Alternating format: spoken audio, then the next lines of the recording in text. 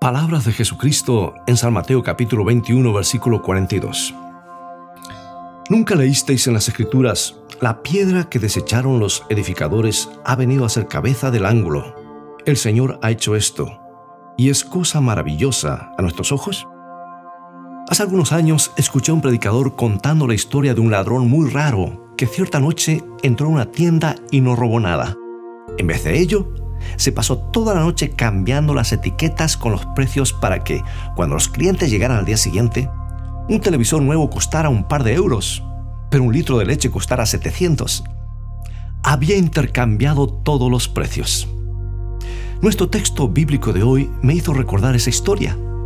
Cuando el Hijo de Dios caminó sobre la tierra, la mayoría de la población lo rechazó por completo. El capítulo inicial del Evangelio de Juan dice, a lo suyo vino y los suyos no lo recibieron. Sé que es difícil de creer, pero cuando Dios habitó entre nosotros, no quisimos tener nada que ver con Él y pensamos que otras cosas eran más importantes. Es como si le hubiéramos cambiado las etiquetas a los precios al planeta Tierra. Hemos hecho que las cosas sin importancia tengan mucho valor y que las cosas importantes carezcan de significado. ¿Cómo es posible que Dios mismo haya caminado por la tierra y la raza humana no lo haya valorado?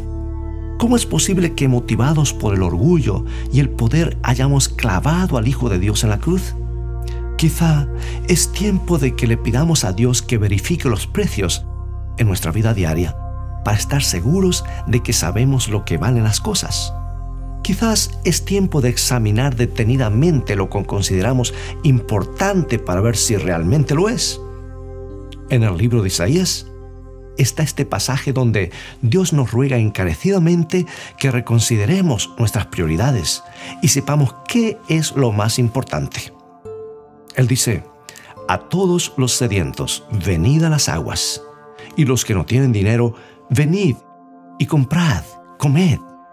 Venid, comprad sin dinero y sin precio, vino y leche. ¿Por qué gastáis el dinero en lo que no es pan y vuestro trabajo en lo que no sacia? Oídme atentamente y comed el bien, y se deleitará vuestra alma con grosura. Isaías 55, 1 y 2.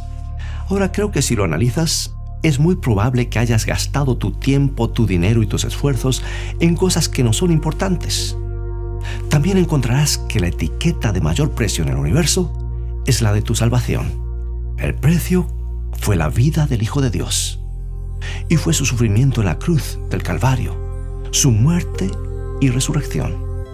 Lo sorprendente es que es un regalo que te ofrece hoy sin pedirte que te lo ganes.